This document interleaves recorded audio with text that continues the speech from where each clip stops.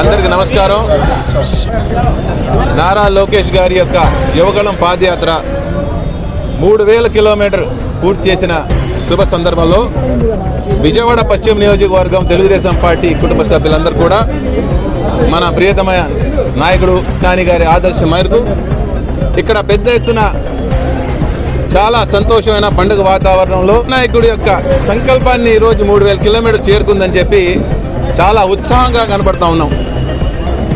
ఈ యొక్క యువగళం పాదయాత్రని అడ్డుకుంటానికి మనందరికీ తెలుసు. ఎన్ని విధాలుగా ఈ యొక్క యువగళం పాదయాత్రను అడ్డుకోవడానికి రాష్ట్ర ప్రభుత్వం జగన్మోహన్ రెడ్డి ప్రయత్నించినా ఎక్కడ కూడా ఆగలేదు.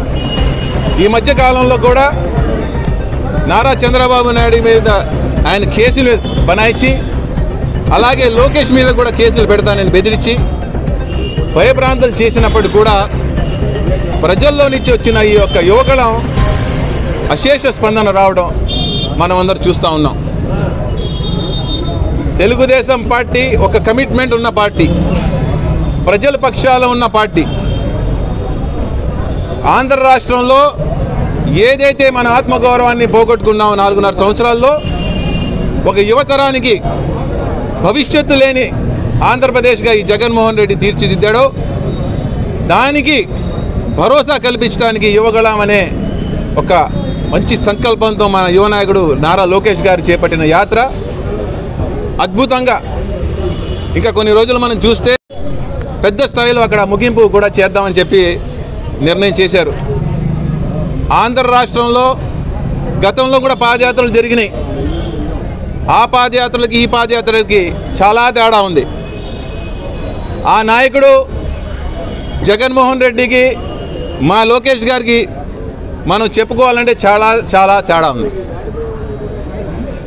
జగన్మోహన్ రెడ్డి వాళ్ళ తండ్రిని అడ్డు పెట్టుకొని కోట్లు కోట్లు సంపాదించి బినామీ కేసులతో సూట్ కేసులు కంపెనీలు పెట్టి ప్రజల దగ్గర దోపిడీ చేసి దొంగతనంగా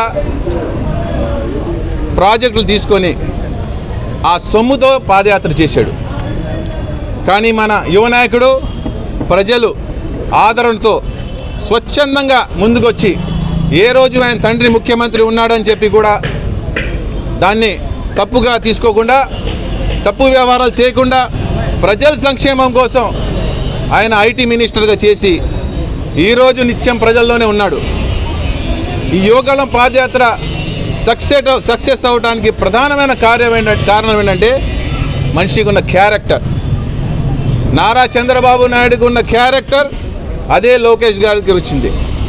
ఆ క్యారెక్టర్ విలువ ఉన్న వ్యక్తి నారా లోకేష్ గారు కాబట్టి ఈ రోజు వరకు కూడా యువకులం పాదయాత్ర విజయవంతంగా సాగుతుందంటే తండోప తండాలుగా ప్రజలు తరలి వస్తున్నారంటే ప్రజలు నారా లోకేష్ గారి నాయకత్వం మీద నమ్మకంగా ఉన్నారని చెప్పి కూడా చెప్పుకోవాల్సిన అవసరం ఉంది.